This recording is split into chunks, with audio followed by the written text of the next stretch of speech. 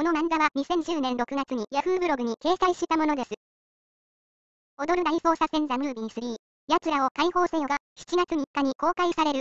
ということで、この度、踊る大捜査線の青島刑事に憧れて警察官になった若者が出てくるフィクションを作ってみた。石原、お前今度湾岸右隣署に移動になったそうだな。お前は踊る大捜査線を見て、青島刑事に憧れ、警察官になったそうだから、湾岸っていう地名がつく警察署で働けるようになって、嬉しいだろ。おめでとう。涌井さん、ありがとうございます。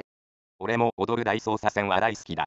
心に残る名場面、名台詞が多いよな。お前が今後の警察官人生で、踊る大捜査線のように、事件は会議室じゃなくて現場で起こっている、って言ったり、レインボーブリッジを封鎖するなんていうことがあるかもしれない。でもな、なぜ現場に血が流れるのかっていうセリフだけは自分で言ったり、人が言うのを聞いたりしないようにしないといけないぜ。え、どういうことですか？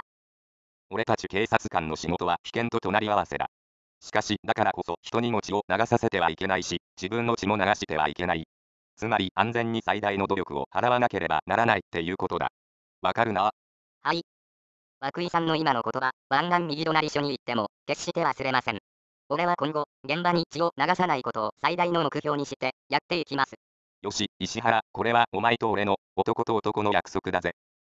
石原が湾岸右隣署に着任して、数ヶ月が経った、ある日。すみれ子さん、今日の会議は長引きそうだね。こんな日に限って、大きな事件が起こりそうな気がしない？うーん、どうかしら。会議中すいません。湾岸中央署から協力の要請が来ました。レインボーブリッジのお台場方面に向かう下り車線でストリーキングが発生したそうです。え？やだ、石原くんの予感が当たったわ。ストリーキングって言っても、羽を外した若者が何人かで騒いでるだけだろう？我々は忙しい中、みんなで時間の都合をつけて、やっと会議を開いたんだ。他の署に協力してもらってくれよ。いや、協力しましょう。なぜなら事件は会議室ではなくて現場で起こっているんですから。石原くんの言う通りです。今自由に動けるのは会議中の私たちだけです。今すぐ行きましょう。よし、わかった。それでは現場に急行しよう。この日は運悪くお台場で子供向けのイベントがいくつか催されていた。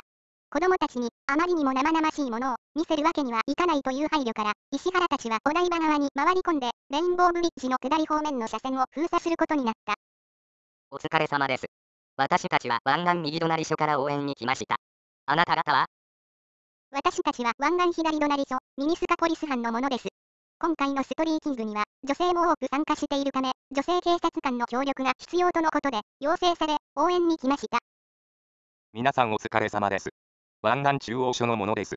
もうすぐ機動隊の応援が来ますので、機動隊が到着するまで、我々が人間の壁となって、お台場方面の車道を封鎖したいと思います。ご協力ください。機動隊これだけ人数が揃っているのに、まだ機動隊が必要なんですか？実は応援を要請した時は、はっきりと早くできてなかったので、ストリーキングの人数を言わなかったのですが、ほら、後ろを見てください。なんだ、このおびただしい数の裸の男女の群れは？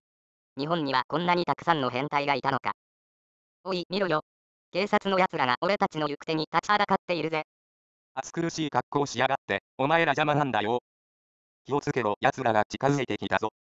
ボディピアスやボディペインティングだけでなく、ありとあらゆる装飾を施して、奴らは奴らなりに裸のおしゃれを満喫してやがる。なんて変態な奴らなんだ。石原くん、今は感心してる場合じゃないわ。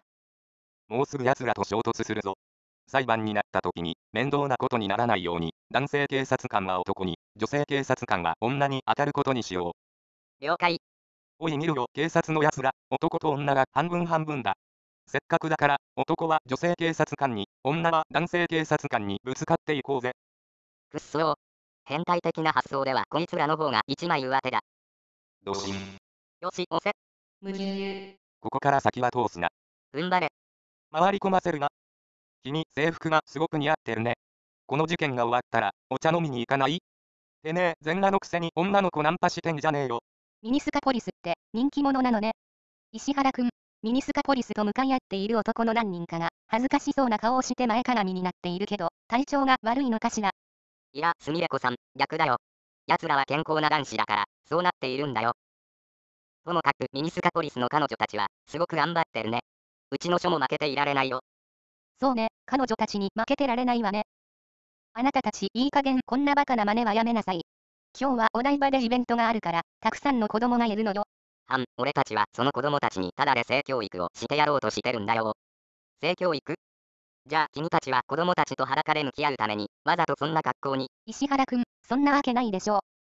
おい、機動隊はレインボーブリッジの下まで来ているぞ。あと数分の辛抱だ。やったぞ、機動隊が間に合ったぞ。石原くん、よかったわね。いやー、本当によかった。涌井さん、俺、やりました。たったこれだけの人数で、レインボーブリッジを封鎖することができたんです。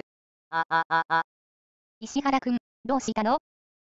やだ、この警察官、私たちの裸に興奮して鼻血出してるわよ。